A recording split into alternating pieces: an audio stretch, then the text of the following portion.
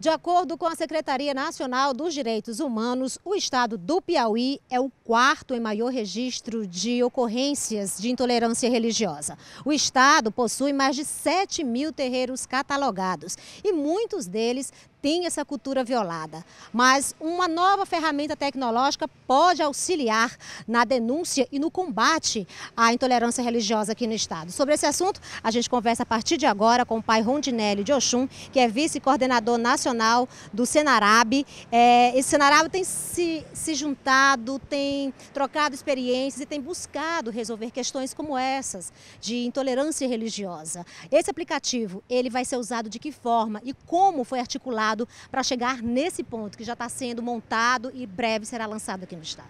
Boa tarde né, a todos os telespectadores da TV Antares.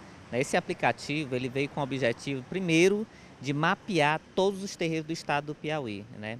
E como você mesmo já, já frisou, né, a importância desse mapeamento, porque nós começamos a identificar que muitos casos de violação de direitos humanos contra essa população vem a cada dia, a cada momento, em todos os dias. E nós precisamos identificar no estado do Piauí quantos somos, onde estamos e quais são esses terreiros que estão sendo violentados.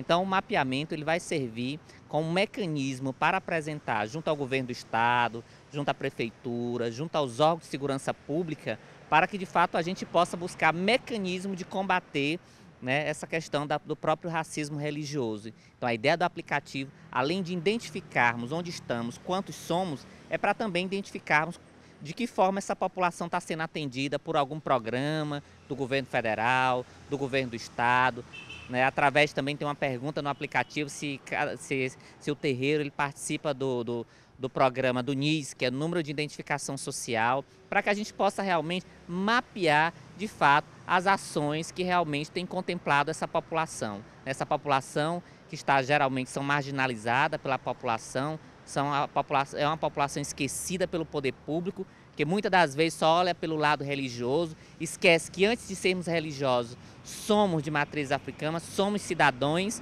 mas precisa-se que, de fato, políticas públicas possam atender essa, essas comunidades. O ano passado, por exemplo, Teresina, nós tivemos em apenas, de um, em apenas em um mês, né, cinco terreiros foram depredados, queimados, invadidos, e até agora a gente ainda busca uma solução para saber que de fato o que fazer e como nos proteger. Então o aplicativo ele servirá não só como mapear, mas também para identificar onde é que de fato nós estamos, onde, onde estamos sofrendo esse tipo de ataque. No aplicativo, na hora da denúncia, ele vai funcionar mais ou menos, os parâmetros podem ser comparados com o aplicativo do Salve Maria, que há um botão de denúncia, alguma coisa nesse sentido? É, essa é a ideia, né?